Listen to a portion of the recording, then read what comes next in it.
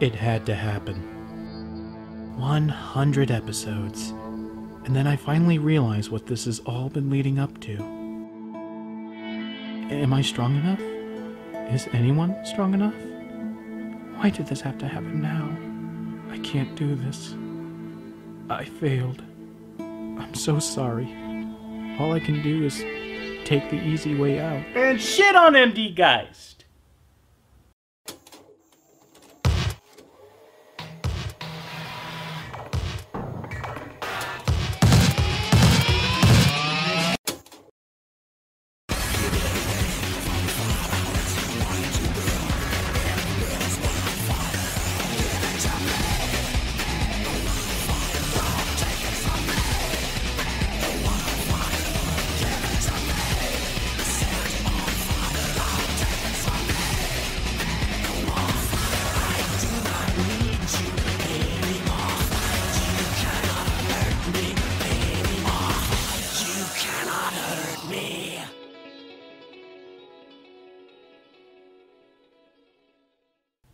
So, who didn't see this coming? If you didn't, you were born after 1989. Though otaku have many a go-to punching bag when it comes to easy titles to mock, none are as infamous as MD Geist. Released back in 1992 stateside to pretty much universal disdain, that would have been the end for this weird little gore fest. But fate had other things in store. Enter John O'Donnell, the founder of Central Park Media. The guy had the weirdest boner for this show and continued to pump life into this veritable corpse of an anime nearly 10 years after it was originally made. Not only did he fund a restoration of the original cut, including adding nearly 6 minutes of additional footage, he funded a sequel. Because John O'Donnell hates you. No, not you in a specific sense, just you in a general sense. Everything the man did was either out of spite or selfish interest. Let me put it this way. Why do you think Media Blasters is called Media Blasters? That's right, the existence of an entire anime distribution company was predicated on giving the middle finger to this man. And honestly, hearing the stories surrounding him, I'm surprised he doesn't have a blonde mustache and a blue polo shirt. Eh? God damn it, it's a Duke Phillips reference! Nowhere was his delusional nature more apparent than on the special edition DVD of MD Geist. Oh yeah, he had a special edition of this DVD pressed. Not even Anime Today had this many features on their discs. Check it out. Storyboards, art galleries, interviews, commentaries. The fucker has a second disc just for bonus features. Who does that? Can you think of one other anime title that had that? I can literally hear all of your brains trying to work out that question, so I'll save you all the trouble. No, you can't. And all this at a time when DVDs were still being packaged in cardboard boxes, like this piece of shit. And the insanity doesn't stop there. Let's start from the top. From director Koichi Ohata, Genocyber, Cybernetics Guardian. Pro tip, copywriters, when you're thinking of blurbs to put on the back of your DVD box, try not to conjure up thoughts of child molestation. If this DVD were pressed today, then the back would read from Koichi Ohata, director of Blue Gender the Movie and Ikki Tousen. Doesn't inspire a lot of confidence, does it? Neither does the front of the box, come to think of it. Check this quote out. Sophisticated and artful, New York Times. That quote has more ellipses than Squall's dialogue box. On a whim, I checked out where this quote came from, and guess what? It's from an article published on September 13th, 1996 about the nature of DVD sales and the curiosity of several anime topping the sales charts. The quote goes like this. A breed of sophisticated and artful, if often extremely violent and frankly sexual Japanese animation, anime has been popular for about six years in this country. That literally has nothing to do with anything. If you're gonna take shit out of context, why not be creative about it? So, what is MD Geist? Well, have you seen The Road Warrior? Have you seen Fist of the North Star? Did you eat paint chips as a kid? Then congratulations, you've seen MD Geist. Describing it is sort of like describing the nature of anime at the time. Hysterically violent, convoluted to the point of ridiculousness, choppy animation, rampant misogyny, and enough cheesy guitar riffs to melt the face off any SWAT cat.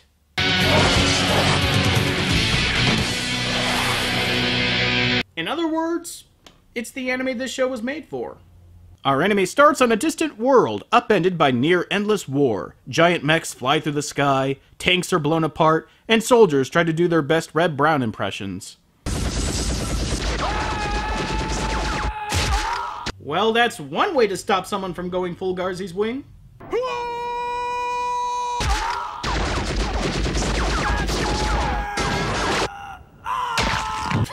Christ! Was that guy just stuffed with cotton candy? You know you're dealing with straight up incompetence when the anime opens with an exposition text crawl in kanji that the dub doesn't translate. Why would I suddenly know how to read kanji if I selected the dub? I fucking hate it when this happens! And don't try and tell me that having subtitles here would mean another video track taking up space on the DVD. If they had the money and time to produce a DVD strictly for bonus material, they had the time and money for another video track. And even if they didn't, they at least had the resources to get some schlub working in accounting to belch out a canned voiceover explaining this to us. Not like this information is really necessary to know what's going on. It just pisses me off. The aftermath of the conflict leaves only a pile of bones and remains, and yet somehow this war still continues. What exactly are they fighting for again? I don't think there's anyone left alive out there. Maybe the ghosts will come out. What, StarCraft ghosts? Nah, that'll never come out. Well, these pilots might as well have said that they were only two weeks away from retirement because our uh, hero, Geist, Batman's his way up to their ship and takes it out all the while sporting a fashionable head wound that he plugs up with chewing gum. And now he's aboard a crashing satellite, seemingly years later because he's sporting Commandiate Earth's end hair. And the anime doesn't start with this scene because. And now we're smack dab in the middle of Fallout, as some random dude in power armor is being chased by the Lord Humungus's smegma crazies. Oh wait, it's not the Lord Humungus, it's Boss Fang! The guy chucks a spear that finally does the poor bastard in, making me realize just how fucking useless this power armor is. I mean, if all a guy has to do to pierce your power armor is play track and field, how good is it really? Well, good enough for guys to literally come out of nowhere to try and scavenge it. Seriously, where the hell did this guy come from? Not bad. And why is he being voiced by Methhead Garfield? Boss Fang offers an ultimatum to Geist, saying that he can either join his gang or beat him in a fight. I wonder which he'll choose.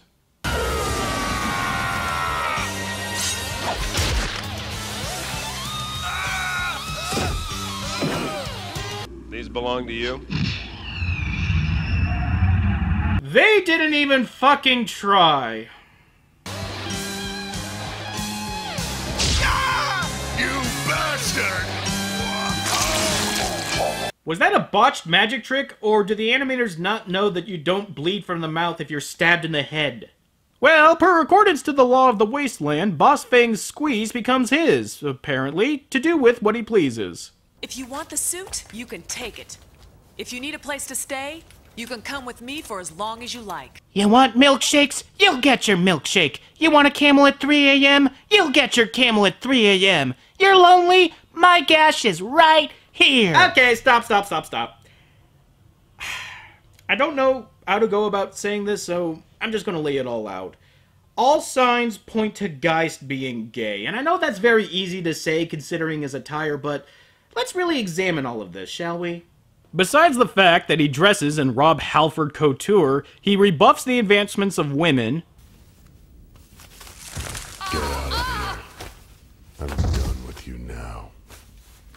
He makes kissy faces at men he stabs, although this could be an animation error, and he rides bitch on someone's motorcycle.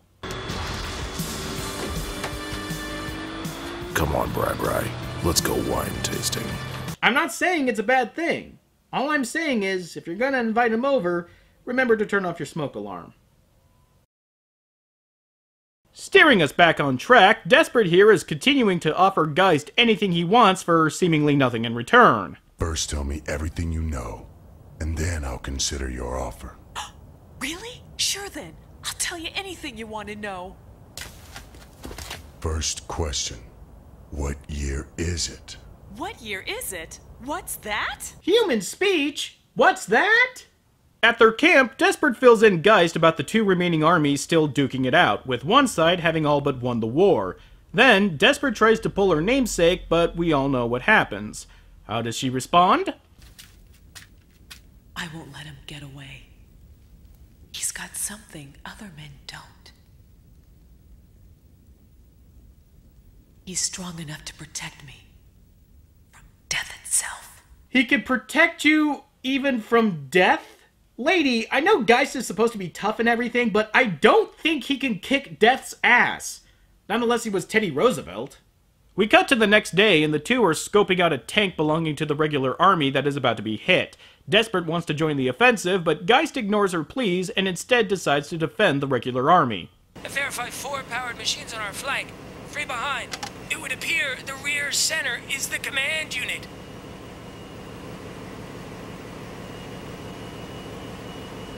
Hi, obvious and intrusive digital zoom. I thought you were still seeing Ken Burns.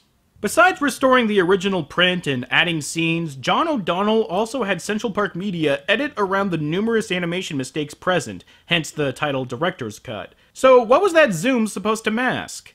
I verified four powered machines on our flight, Three behind. It would appear the rear center is the command unit.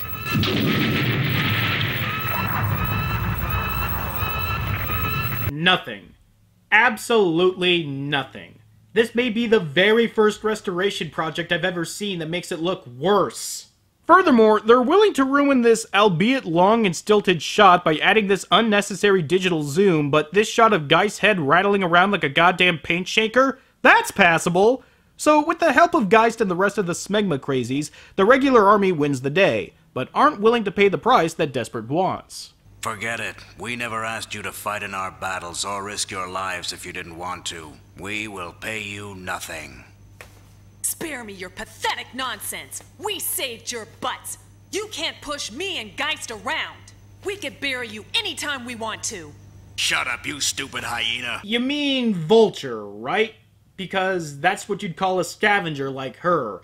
Unless you meant hyena because she laughs a lot. Which I hope she never does again. I'm a hyena. Yeah, I live off dead men. But who made me that way? You, the army boys! Your damn battles have killed almost everyone on the planet! Okay. If you think you got the moral high ground here, Desperate, then I'm officially changing your nickname to Delusional. Even this guy in the background here can't believe he's hearing this bullshit. Well, the Colonel here lets the two fuck off, mainly because he knows who Geist is.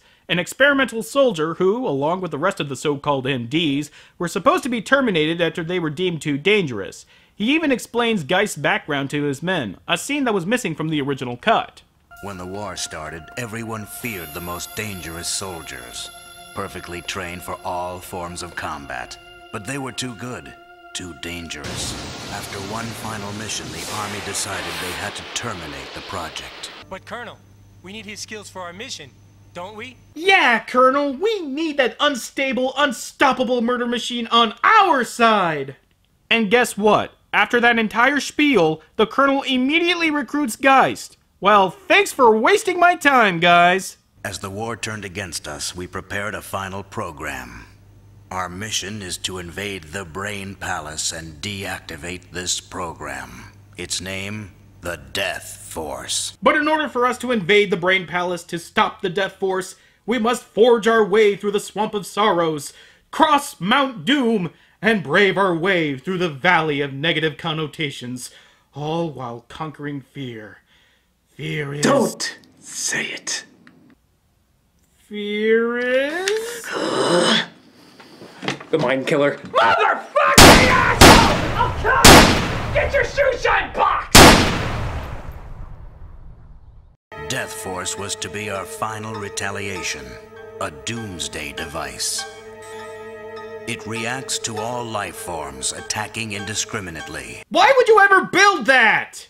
In an anime filled to the brim with bullshit, this has got to be the bullshittiest. You guys created a robotic force that was programmed to destroy every living thing, including yourselves, for deterrent purposes? Way to go, assholes! Seriously, who would ever build such a useless weapon? So, after Delusional swings and misses on trying to seduce Geist, the soldiers launch their attack on the Brain Palace, a place the writer should have visited. And after some unfollowable, disjointed battle scenes, the men are reduced to Geist and the Colonel. Colonel, you and Mr. Geist have to get to the control room quickly.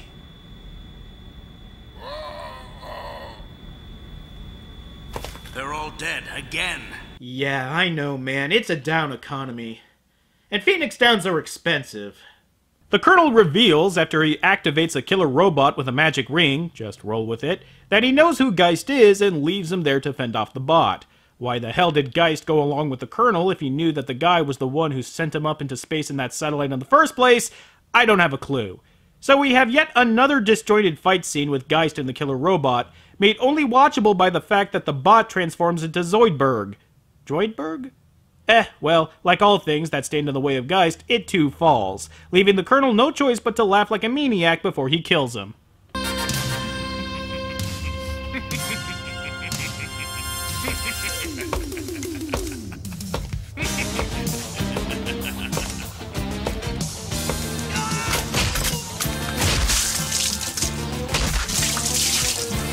Favorite part of that scene is that despite the Colonel knowing that he's going to be killed at the hands of Geist, he's still surprised by the fact that he's killed at the hands of Geist. I failed and now you're gonna kill me. oh my god, what are you doing?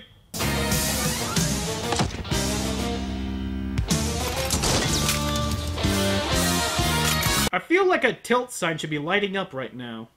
Out of nowhere, Desperate comes running in with the good news? Hey, Geist! You killed the Colonel!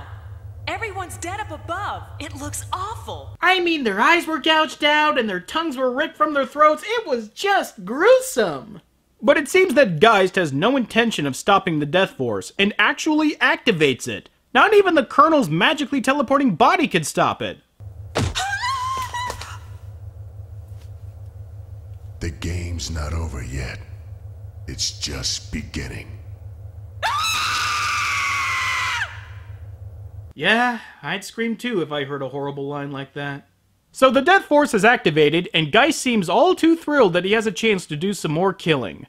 If you think this ending sucks, at least it was an ending. Not like the non-ending we got in the original cut. The game's not over yet. It's just beginning.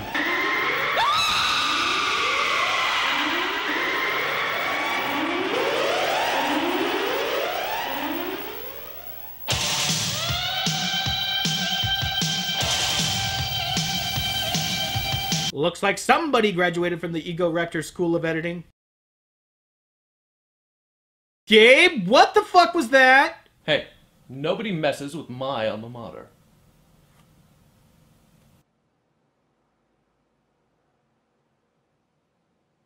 We begin part two of MD Geist with the newly activated Death Force munching on human remains. Yes, robots that feed on human flesh. This is what I like to call boomerang stupidity. A stupid plot moment or detail that doesn't occur to you until it flies right over your head and then smacks you right in the back of the dome. Really think about this. Robots that eat human flesh. Well, that infers that it has a digestive system, which means it has to poop. Can't eat something without pooping. I didn't go through third grade science class without learning that much. So our main antagonists in this anime are pooping robots.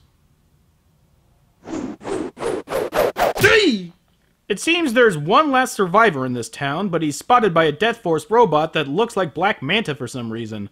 Luckily, the survivor is on the hood of Geist's car, somehow. Like, was Geist just waiting there, hidden under those layers of junk and rubble? What the fuck was he doing in his car?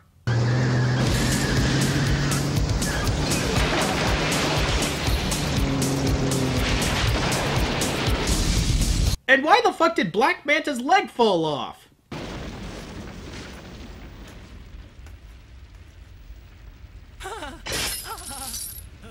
Thank you for your contribution to the regular army.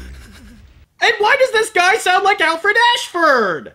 I so want to enjoy this.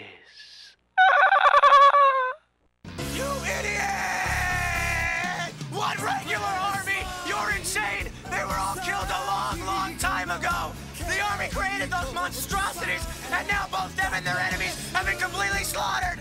How much longer do we have to fight before it's all over? It doesn't matter. We're all done for anyway. That has gotta be the most ridiculously delivered bit of exposition I have ever heard. I didn't think it was possible to say something that forced, that forcefully.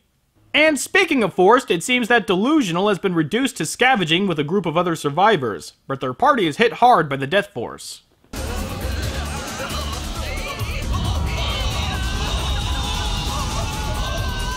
How horribly gross! Ah. About two seconds too early there, Kreskin. All seems lost, but then a veritable angel glides in and saves what's left of the scavengers, including Delusional. He picks them up and carries them to his refuge, the last surviving bastion of civilization, where everyone there reveres him as a literal god. And he also happens to be an MDS like Geist. Wait, weren't they all destroyed before the first MD Geist? Can I get a retcon? Only one! You are quite a hero to the refugees.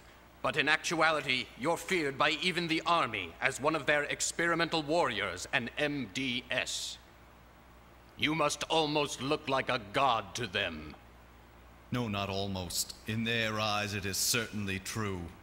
I have become a god incarnate. Yes, a god that looks like he's cosplaying as one of the members of the Blue Man Group. I'm sure it can't be true, but if Geist is back on the ground, then. If he is back on the ground, so then what? I am the only MDS that is capable of using my powers because only I have normal judgment. I'm the sane one, not he! I'm the sanest motherfucker you've ever seen! Right?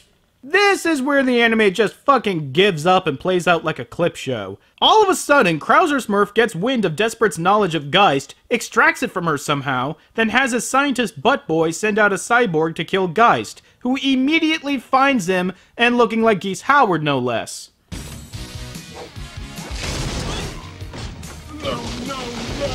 Okay. The actor playing the cyborg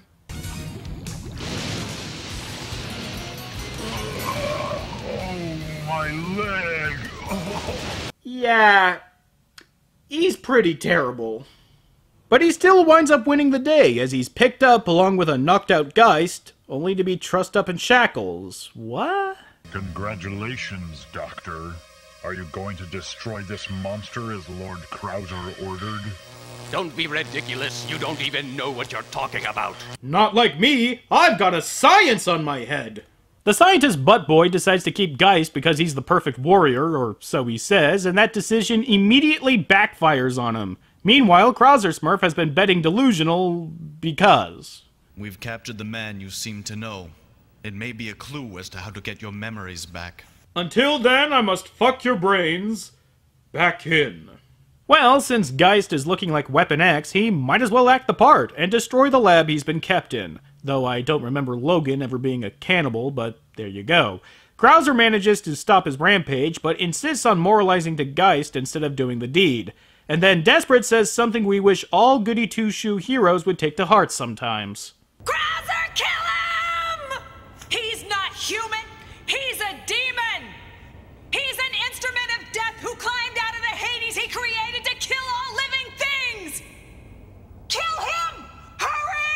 Wait, I'm supposed to kill him? I thought I was supposed to be an asshole.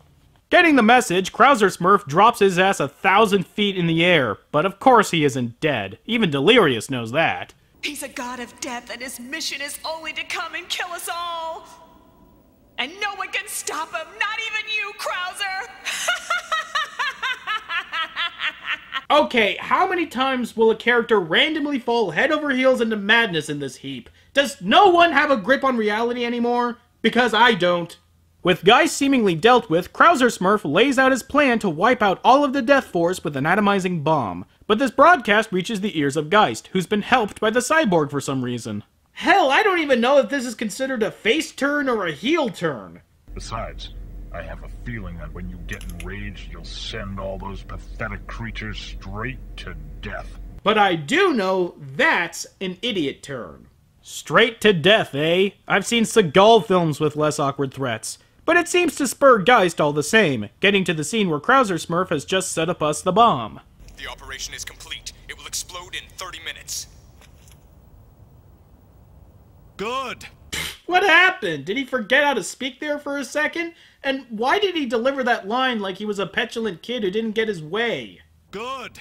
I didn't even want that Snickers anyway. Everyone, extend your wings! John, what's wrong? Okay, now he's just evolving into Shatner.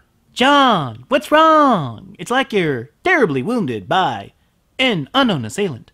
The whole operation goes tits up as Geist is ruining not just Krauser Smurf shit, but the very concept of shit, forcing them to detonate the bomb with soldiers in the blast radius. While it does wipe out some of the Death Force, it still leaves Geist and more than enough of the flesh-eating bots untouched. And at this point, Krauser Smurf is less himself and more like Li Chao Lan.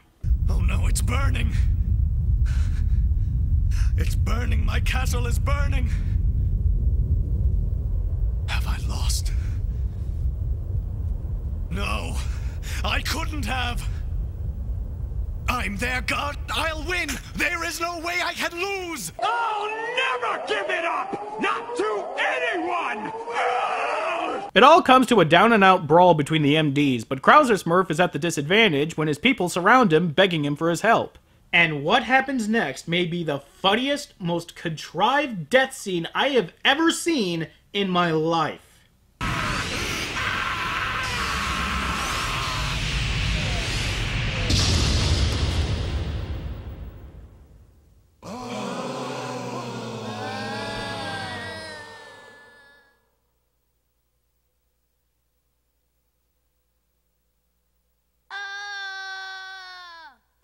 Be. No, I couldn't have. Damn straight you couldn't have. What did that kid do? Jump into the air to get impaled on your rod? Giggity? Look, in order for the kid to get skewered like this, he would have had to either have been three feet taller or had purposefully jumped to get hit. The fact that the kid sounds bored by the fact that he's dead is just icing, though. The cake is Krauser Smurf's reaction. Ah!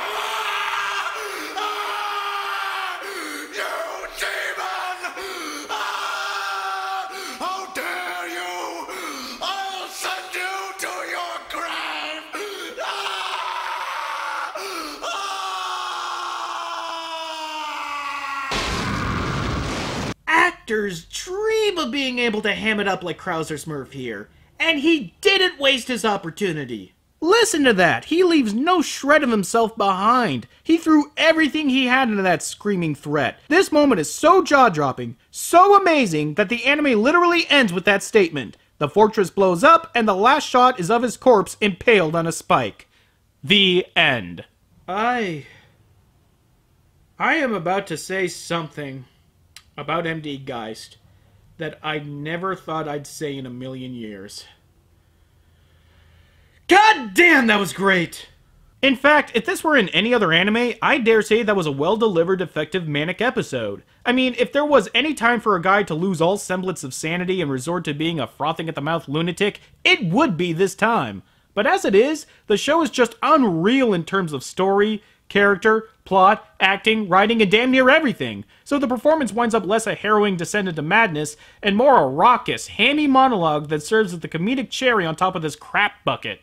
Make no mistake, MD Geist is terrible. Absolutely, without a doubt, terrible. But it's also one of the best good bad anime I've ever seen. Hell, I'd go so far as to say that there are some things legitimately good about it, too. While the acting sucked, at least the actors exhibited a sound and tone that is sorely missed today. It's in the service of a script that is mind numbingly dumb, but when it sounds right, it sounds right. It's never dull, it's not nearly as hateful as the director's other works, and the music is nostalgically cheesy. It's an anime whose reputation is sort of deserved, but also wholly exaggerated. It's not the worst anime ever made, far from it, it's just another schlock title. But an enjoyable one. Hmm. I wasn't sure what I was going to say here at the end of this review. I mean, what can you say? I made a hundred episodes of a pokey little internet review show that some people watch. And in the grand scheme of things, it's not that much of an accomplishment.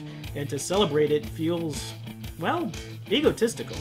I mean, making anime abandon is my job. This is what I do. It's not like I don't take pride in it, it's that no one else celebrates the 100th time they've done something at work. You don't see lawyers celebrating their 100th case or salesmen celebrating their 100th sale. And then it occurred to me sometimes they do. Sometimes, after they put in their time and effort, they want to celebrate a milestone that they think they've achieved. And you know what? They have achieved it.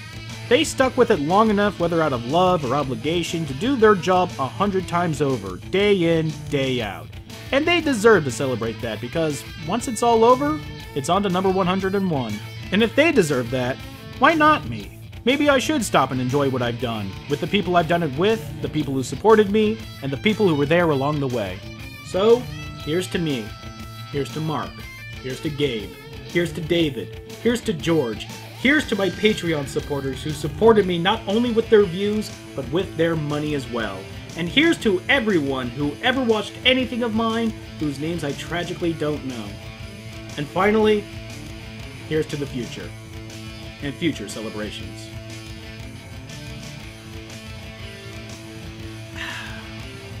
Next month, back to work with Agent Aika. Till next time.